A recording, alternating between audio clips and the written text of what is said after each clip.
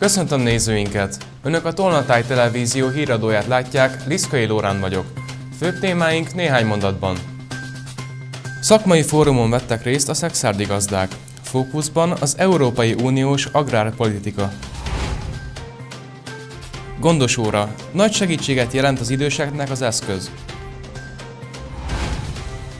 Dombóvár képviselőtestülete ülésezett. Döntöttek az idei költségvetésről. Elűzték a telet Bonyhádon. Táncos mulatságot tartottak.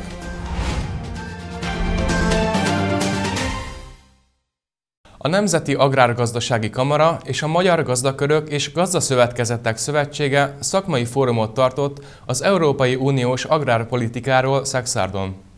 Több mint 70 állomásból áll az országos rendezvénysorozat, mely célja, hogy bemutassák a gazdálkodóknak a közös Európai Uniós agrárpolitika legújabb irányait és a hazai vidékfejlesztési program támogatási lehetőségeit. Szexárdon a Pécsi Tudományegyetem kultúrtudományi pedagógus képzős vidékfejlesztési kara adott helyszínt a szakmai fórumnak komoly változások közepette vagyunk, nem elé nézünk, közepette vagyunk.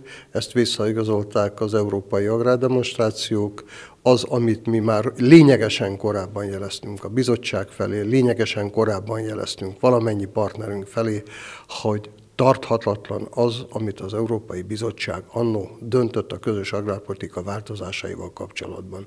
Most ezt a gazdák visszaigazolták, azt gondoljuk, hogy ezen a területen még további engedményekre van szükség, még további vita szükséges nem a saját kormányunkkal, hanem az Európai Bizottsággal, illetve az Európai Parlamenttel. A zöld megállapodás, azaz a Green Deal nagyon sokba kerül minden gazdának, komoly hátrányba kerülnek, és rengeteg a szigorítás, mint például a műtrágya felhasználás 50%-ra csökkentése, a növényvédőszerek 20%-os csökkentése, a parlagoltatás csak néhány példát említve tette hozzá Jakab István, a Magosz elnöke. Az adórendszert, a földadót, az teljes mértékben eltöröltük.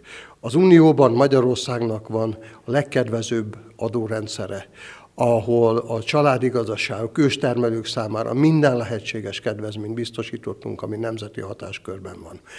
Az a meggyőződésünk, hogy a gazdaság átadási támogatása, a fiatalitás, a, a gazdaságnak a lendületben tartása úgy szintén érdemi változások alatt van, és a végrehajtási rendet most kerül kimunkálásra, már a törvényt elfogadtuk, az is kapjon támogatást, aki átadja a gazdaságot, és az is, aki átveszi.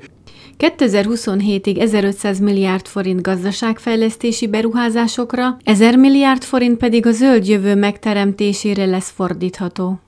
Én nagyon fontosnak tartom az ilyen jellegű rendezvényeket, ahol az ágazatban szereplő mind gazdák, növénytermesztők, állattenyésztők, esetleg az élelmiszeriparban tevékenykedő vállalkozások közvetlenül kapnak arról tájékoztatást, hogy a következő időszakban milyen jellegű pályázati lehetőségek nyílnak meg, azok milyen feltételrendszer mellett jelennek meg, és hogy mire számíthatnak a beadás után. Ugyanúgy szükség van nagy, több milliárdos beruházásokra, mint kis családi termelők támogatására mondta el nekünk Horváth István országgyűlési képviselő. Valamikor a tavasz vége felé, vagy a tavasz második felébe fognak majd megjelenni a, a pályázatok. Ezek jellemzően 50%-os intenzitású pályázatok. Lesznek nagyobb csomagok és lesznek kisebb csomagok. Tolna vármegyében további két állomása lesz a szakmai fórumnak március 19-én Dombóváron és április 9-én Dunaföldváron. A gondos órát ismerhették meg az érdeklődők Szexárdon egy tájékoztató előadás keretében. A 65 év felett ingyenesen igénybe vehető szolgáltatás célja, hogy az idősek szükség esetén egyetlen gomnyomással jelezni tudják segítségkérési szándékukat. Az eszköz életet is menthet ütésálló, vízálló, tehát mondjuk például fürdés során kifejezetten ajánljuk, hogy használják a felhasználók. A gondos óraért felelős társaság ügyvezetője Juhász Roland mutatta be a programot és a készüléket Szexárdon, a Matthias Corvinus Kollégium képzési központjában. A szolgáltatás a nap 24 órájában egy diszpécser központot tesz elérhetővé a felhasználók számára. Az ingyenes eszköz a 65 év felettiek biztonságát szolgálja. A működés pedig nagyon egyszerűen történik, ugye pont az a célja a, a, a programnak is és a jelzőeszköznek is, hogy a lehető legkönnyebben használható legyen. Egy darab nagy gomb van rajta, egy narancssárga gomb, ez szükséges 3-4 másodpercig megnyomni, abban az esetben, hogyha valamilyen problémát érez a felhasználó, és akkor ez hangos szóval jelzi is, hogy elindított egy vészhívást, ez fog becsörögni a nap 24 órájában működő diszpécser központba, a diszpécser központ visszahívja a felhasználót, kihangosodik, mint ahogy egy mobiltelefon kihangosítja saját magát, és elindul egy kétoldalú párbeszéd, aminek nyilván a célja az, hogy megoldásra kerüljön az a probléma, amit a felhasználó jelzett. Juhász Roland azt mondta, a program alapvető célja, hogy az idősek a saját otthonukban tudjanak maradni minél tovább. Az eszköz használható például gyógyszerrel vagy élelmiszer bevásárlással kapcsolatos problémák megoldására is. Nyilván itt van a másik része, hála jó Istennek ugye ez a kisebb százaléka a beérkező hívásoknak nagyságrendileg 10-15 százalék, amikor közvetlenül a diszpécser központ tud sürgőségi segélyhívót, tehát mentőszolgálatot, katasztrófavédelmet értesíteni, és akkor természetesen ők azok, akik a megfelelő segítséget nyújtják. A szolgáltatásban 5 darab kontaktszemélyt is meg lehet adni, akik problémák esetén segítséget nyújthatnak. Gyurkovics János Szexárdal polgármestere úgy fogalmazott, a gondosóra rendszer egyszerűségéből fakad annak nagyszerűsége. A tudomány és a technika az elmúlt évtizedekben óriási fejlődésen ment keresztül. Ezzel együtt változott társadalmunk is, és talán mindkettőnek köze van a program létjogosultságához.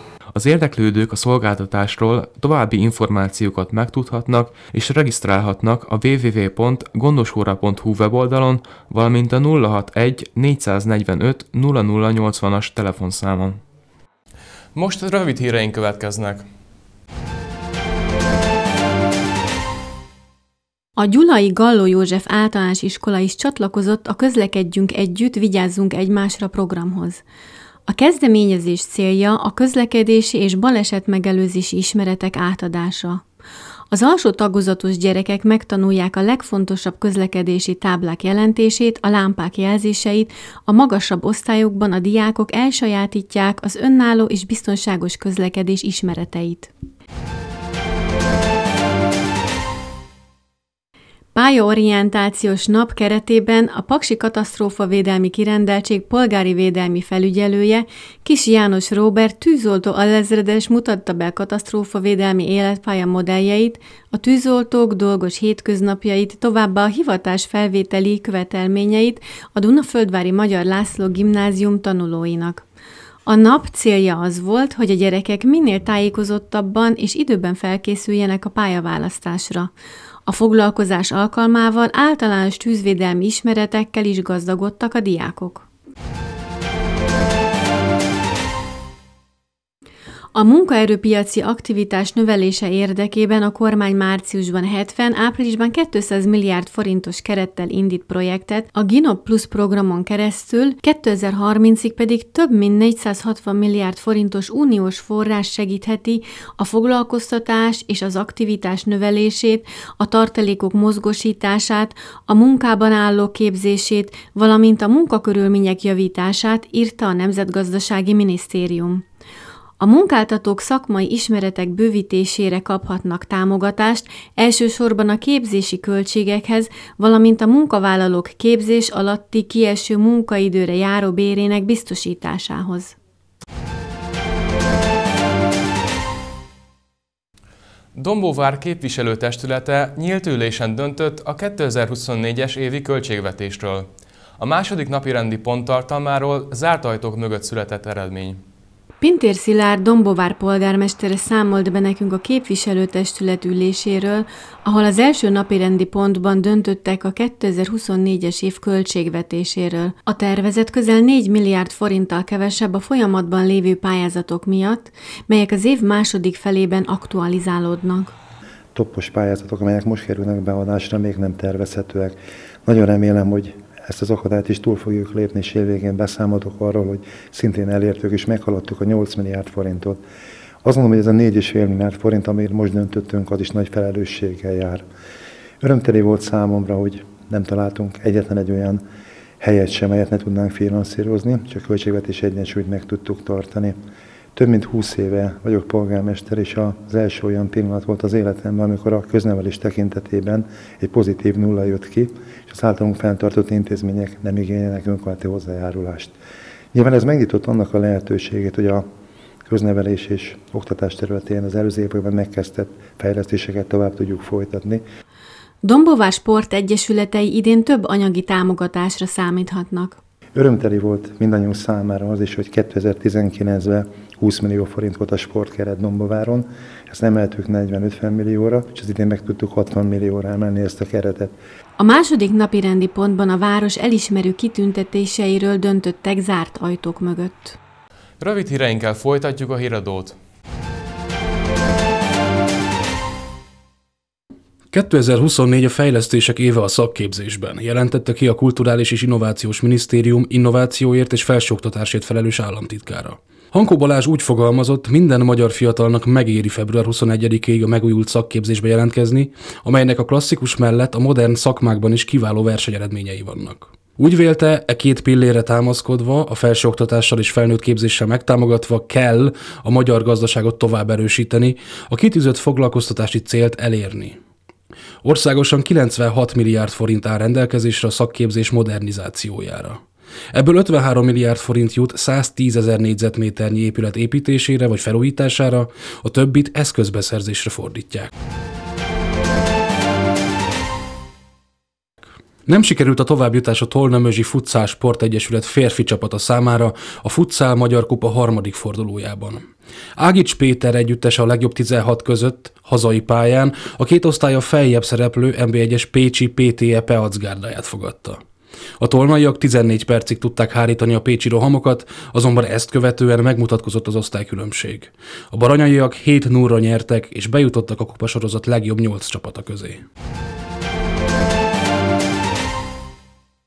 Három szexádi versenyző is kvalifikálta magát a Jiu-Jitsu Európa bajnokságra. A Magyar Sport Jiu-Jitsu Szakszövetség szervezésében Dunakeszin tartott kvalifikációs versenyen Schweigert Ákos, Hidas Gábor és Tóth Máté haladó kategóriában szereztek első, illetve második helyezéseket, így ők már biztosan ott lesznek a Németországban májusban rendezett kontinens fiadalon. Minden évben megrendezi hagyományos farsangját a Bonyhádi Együtt Egymásért nappali intézmény. A szervezet idén táncos mulatsággal várta a megjelenteket. Az intézmény rendhagyó a megyében, még csak hasonló profil sem található meg Tolnában. Minden évben ellátogatok erre a rendezvényre, nagy örömmel teszem ezt, mindig igyekszem eleget tenni a meghívásnak, mert itt a fiatalokkal gyakorlatilag már baráti kapcsolat alakult ki. Egy olyan hiánypotló intézményben vagyunk, ahol sérült fiataloknak a nappali ellátása zajlik.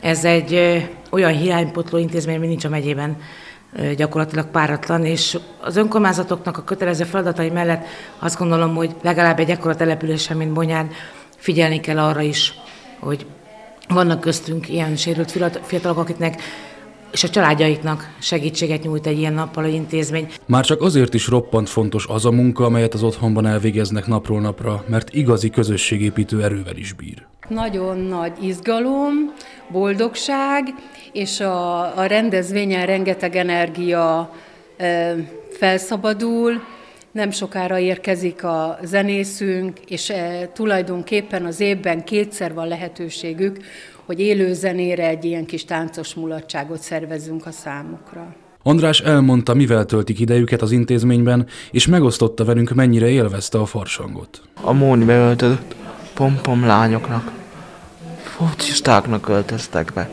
A mulatság tánccal zárult, és ahogyan Álom Gyöngyi elmondta nekünk, várhatóan még hetekig megmarad a remek hangulat. Regionális híreink következnek. Kiverte a biztosítékot a belvárosi iskola. Vita a bizottságban közgyűlés előtt. Új bölcsőde Kabosváron. 42 férőhelyes intézményt adtak át. A hidrogén gyárak energiaigényét is fedezheti. Így gondolják ezt a Király Egyházi cementgyárban.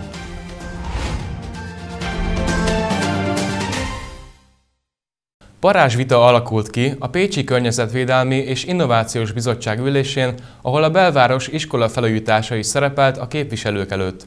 A szakvélemény szerint a tartó szerkezet korreláltsága miatt életveszélyes lehet az épület. Azonban a városvezetés mégis nulla forinttal állította be a fejlesztési listába az ingatlant.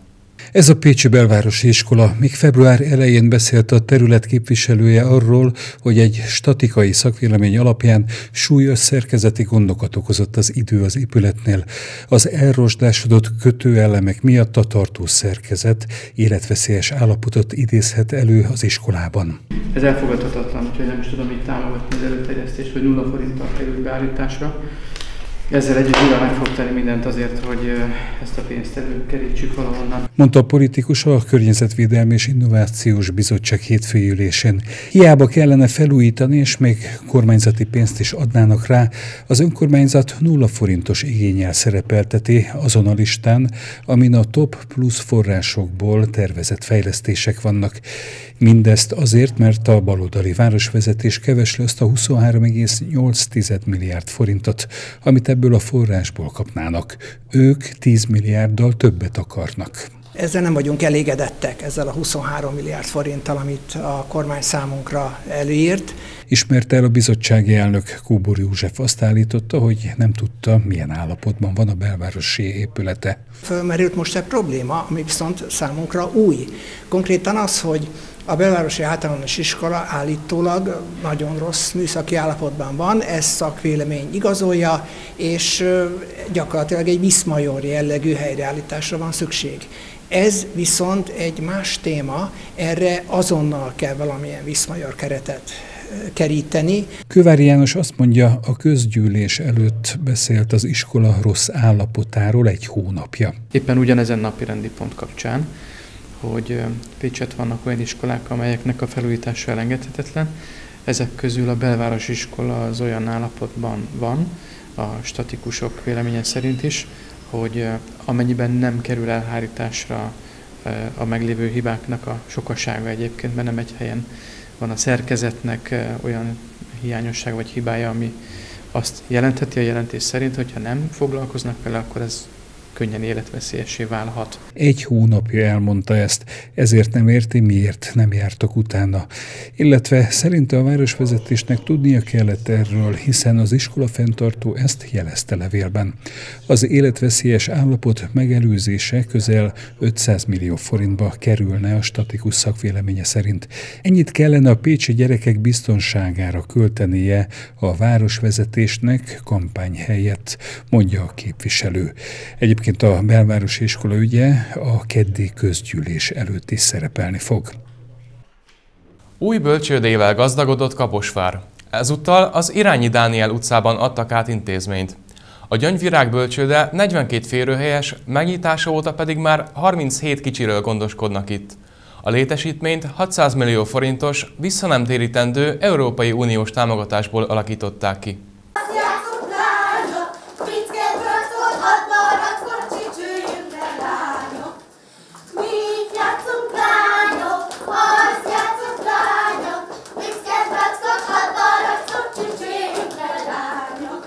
Műsorral is készültek a kicsik az új bölcsöde átadón Kaposváron. Bánk is ide jár, édesanyja szerint modern és barátságos környezetet alakítottak ki a gyerekek számára. Mi a nyitás óta itt vagyunk, ide járunk. A kisfiam szeptemberben kezdte el a bölcsödét, akkor még a Somcsicsba, és ahogy megnyílt az új bölcsöde, mi jöttünk át, mert az ő nevelői is átjöttek. És hát azért egészen más egy új épületbe belépni, tehát nagyon modern, nagyok lettek a, a játszószobák, vagy tehát a csoportszobák. Az új intézményt 600 millió forintos Európai Uniós támogatásból építették, emellett új eszközöket és játékokat is vásároltak, így végül összesen 700 millió forintba került a Gyöngyvirág bölcsödet teljes kialakítása. 42 férőhelyen nyílt meg a bölcsöde január másodikán, jelenleg három csoporttal megyünk és 37 fővel. Egyelőre azt mondhatom, hogy tele van a bölcsöde, nem tudok több gyermeket felvenni, mert hát van egy 14 fős csoportom és kettő 12 fős, ugyanis nagyon sok a két év alatti gyermek. Elég nagy a kihasználtsága, a családok körében nagyon keresik a bölcsödét, így még így is, hogy nem volt a hivatalos átadás, és nem volt semmi olyan hírnév verve neki. Az ünnepélyes átadón a település polgármestere arról beszélt, Kaposvár a gyarapodás útjára lépett. A mai nap nem csupán a bölcsöde számára ünnep, hanem az egész város számára. Mégpedig azért, tisztelt édesanyák, édesapák, tisztelt hölgyeim és uraim, eh, mert a gyarapodás mellett voksoltunk. Azzal, hogy bölcsödét építettünk. Ráadásul nem is akármilyen bölcsödét építettünk. A felnőttek, már a szülők tudják azt, hogy pár esztendővel ezelőtt azt a célt tűztük ki magunk elé, hogy szeretnénk azt elérni, hogy egy adott évben legalább annyi kisgyermek szülessen Kaposváron, mindahányan koruk és egészségi állapotuk után itt hagynak bennünket. Hát örömhírem van, tisztelt Hölgyeim és Uraim, mert az elmúlt esztendőben tíz évvel ezelőttihez képest több mint százal, 115-tel több kisgyermek született. Az elmúlt években több bölcsöde is épült a Somogy vármegyei székhelyen az evangélikus egyháznak és a pünkösdi egyháznak köszönhetően. A hidrogén, mint üzemanyag, akár gyárak energiaigényét is fedezheti. Így gondolják ezt a Király Egyházi cementgyárban. Terveik szerint a cementgyár közelében alakítanák ki a hidrogén üzemanyag előállító, illetve tároló töltőkapacitást. Egy hidrogén meghajtású személyautót mutat be ez a videó. A hidrogén, mint üzemanyag, a kárgyárak energiaigényét is fedezheti. Így gondolják ezt a Királyegyházi cementgyárban. Szerintük ez lehet a jövő zöld energiája. A hidrogén amúgy a világűr leggyakrabban előforduló eleme, tehát a hidrogén gyakorlatilag végtelen mennyiségűen rendelkezésre áll. A napsütéses órák száma itt Baranyában igen magas, illetve a holcim, mint ipari felhasználó, akár tüzelanyagként, akár üzemanyagként föl tudná használni az itt készülő hidrogént. Na most itt ez a dolgunk, hogy ezt valahogy összefogjuk ezt a projektet, tehát azt, hogy ezt a hidrogént napenergia segítségével valahogy előállítsuk, utána ezt tároljuk, és utána ipari felhasználást keressünk hozzá, és erre a cementgyár kiválóan alkalmas, hiszen a foszilis tüzelanyag, ugye nekünk most már 91%-a nem foszilis a tüzelanyag, de van egy 9% amivel valamit kell kezdeni. A cement előállításához szükséges energiát fedezni a hidrogén egyrésztről, másrészt a közlekedésben, szállításban szintén számolnak a hidrogén üzemanyag felhasználásával az elektromobilitásban azt látjuk, hogy, hogy egy nagyon, nem akarok konkrét számokat mondani, de egy viszonylag kis mennyiségű hidrogénből akár 800 kilométert is meg tud tenni egy autó, erre ugye vannak példák, vagy itt Pécsen is van a, látható hidrogén meghajtású hajó, ami vígan tud nagyon környezetbarát módon a Balatonon és a Dunán közlekedni. Tehát valahogy ez a koncepció lényeg, hogy ezt a hidrogént, amit egyébként nagy ö, nyomás alatt kell tárolni, ezt be tudjuk fogni, tárolni, és utána a vonatjainkat, illetve a cementes autókat, illetve a betonkeverőket ezzel hajtsuk meg. Pécsen az egyetemen folyik olyan szakmérnöki képzés, amit a hidrogéniparban lehet hasznosítani, illetve vannak olyan gazdasági szereplők, cégek, akikkel összefoghatnak, mondja Hoffman Tamás. Van egy konzorcium, ami a Pécsi Tudományegyetem és a helyi gazdasági szereplőkkel van felvértezve.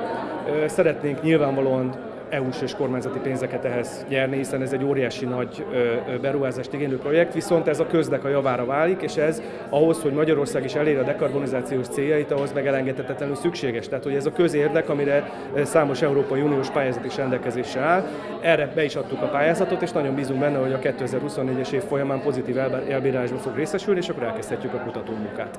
Terveik szerint a szemengyár közelében alakítanák ki a hidrogén üzemanyag előállító, illetve tároló töltő kapacitást. Az ügyvezető azt mondja, ezek megvalósítása még éveket vehet igénybe, de elkötelezettek a zöld energiák használatára. Egyébként a hidrogén égésekor víz keletkezik. Végül mutatjuk Tolna vármegye híreit még egyszer, röviden.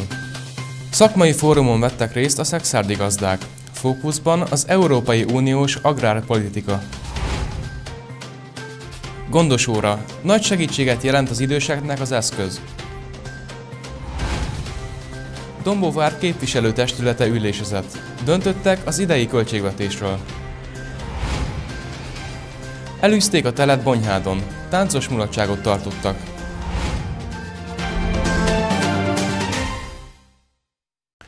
Szerdán eleinte kisé még élénk, majd országszerte legyengülő, mérsékelt, nyugati-délnyugati irányúra forduló légmozgás lesz jellemző. Emellett a nap nagy részében zömében felhőség látszik valószínűbbnek, de időnként, helyenként elvékonyodik, felszakadozik a felhőtakaró, és átmeneti időszakokra kisüthet a nap. Kisebb eső, záporeső előfordulhat, de jelentős mennyiségű csapadék továbbra sem érkezik. Friss hírekkel legközelebb szerdán este jelentkezünk. Mára köszönöm figyelmüket, viszontlátásra!